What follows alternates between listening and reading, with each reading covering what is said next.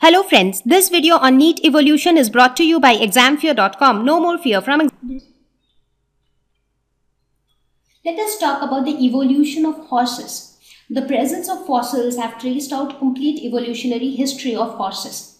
So if you look at the look at how horses actually evolved, you see that if you start from the very beginning, the first type of horses which were seen were the Eohippus, then came Mesohippus, Thereafter was Merychippus, then Pliohippus, and then finally Equus. So these were the various stages in the evolutionary history of horse. So let us start with Eohippus.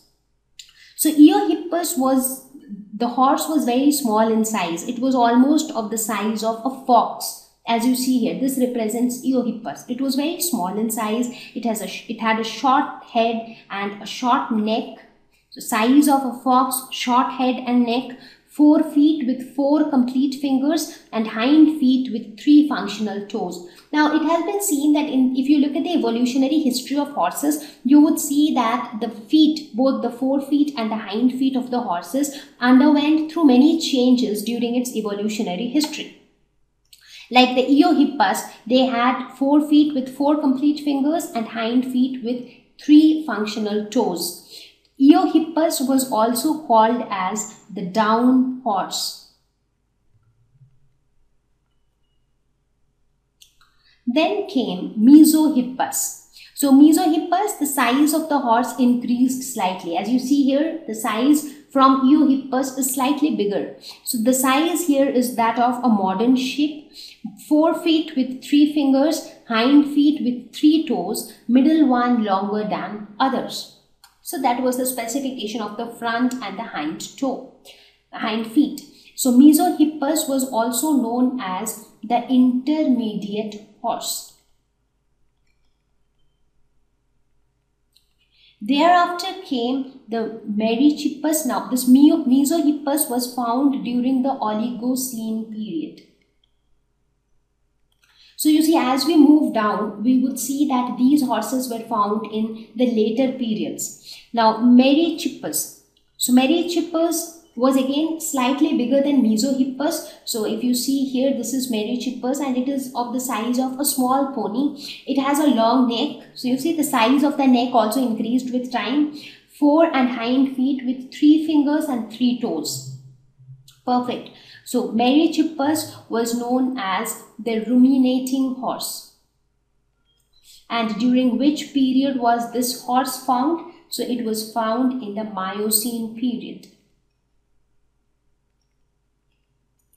Thereafter, it was Pliohippus, which was of the size of a modern pony.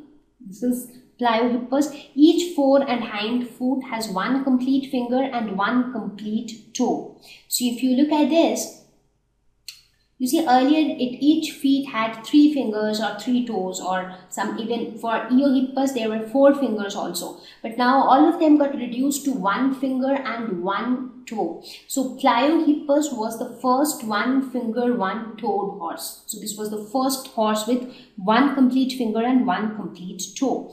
So Pliohippus was also called the Pliocene horse and needless to say why because it was found during the Pliocene period. So Pliocene period is almost 10 million years ago from now.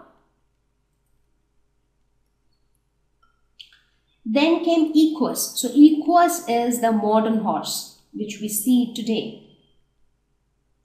So it has a long head and neck the size of the horse is also quite bigger when compared to the pliohippus. Each foot and hind, each fore and hind foot has one finger and one toe. So that's why I said that pliohippus was the first one-toed, one-finger horse because equus is also the present day the modern day horse is also one uh, finger one toed horse now equus is also known as the pleistocene it is the modern horse and from when did when did this evolve it was found in the Pleistocene period.